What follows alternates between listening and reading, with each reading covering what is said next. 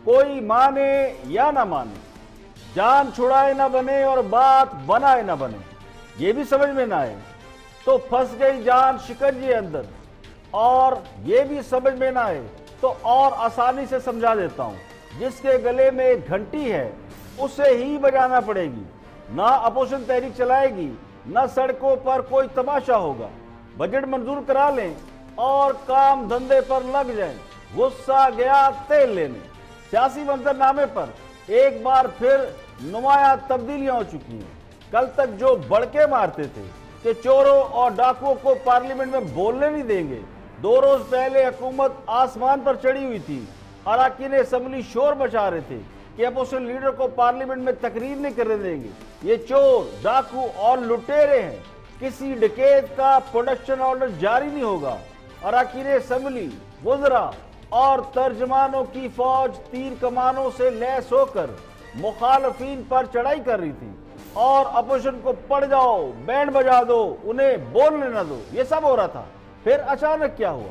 ऐसी कौन सी क्यामत आ गई? ऐसी कौन सी आंधी चल पड़ी कि फड़फड़ाते चिराग बुझ गए और गुस्से झाक की तरह बैठ गए? शबाज शरीफ भी घंटों सबली में बोले, आसफ जरदारी और ख्वाजा साद रफी के प्रोडक्शन ऑर्डर भी जारी हो गए। और आज जरदारी साहब भी खरामा खरामा चलते हुए पार्लियामेंट के मेंबर पर रौन के अफरोज हो गए। बजाखिर ये लग रहा था कि हुकूमत और अपोजिशन में मुजाकर से मसले का हल निकाल लिया गया।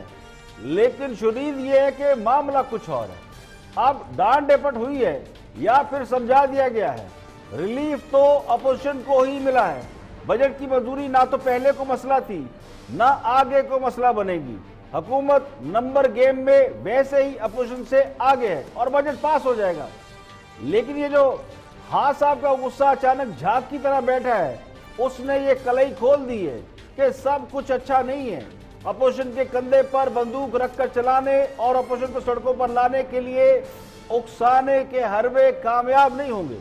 अपोजिशन ने ईद से पहले ईद के बाद तहरीक चलाने का ऐलान किया था। ईद के बाद एक बड़ी गिरफ्तारी हुई।